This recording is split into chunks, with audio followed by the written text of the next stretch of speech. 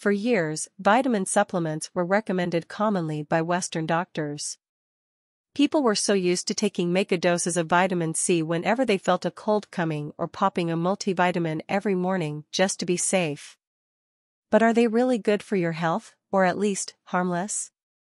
Dr. SEBI had a completely different take on vitamins, and recent scientific studies keep showing up and proving him right every day. Let's learn a little bit more about Dr. Sebi's take on vitamins and the difference between vitamin supplements and minerals. Vitamins are trace compounds found on food. Let's set the record straight, food has vitamins. They are natural compounds found in all fruits and vegetables. In their natural form, they're good for you, which is why we recommend a diet based on fresh fruits and vegetables adhering to the nutritional guide.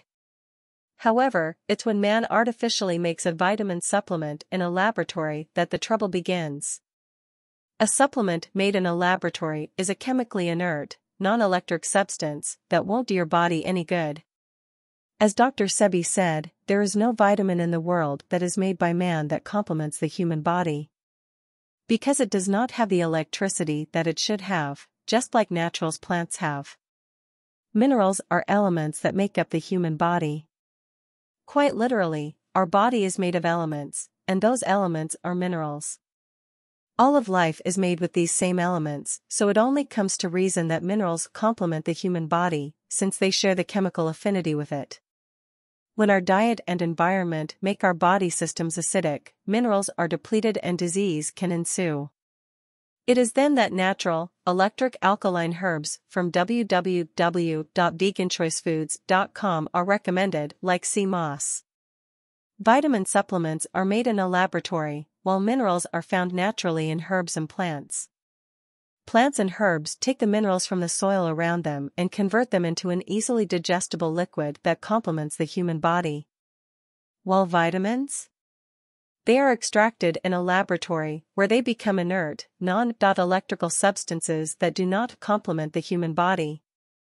As Dr. Sebi said, vitamin supplements are artificial, it is not something made by nature.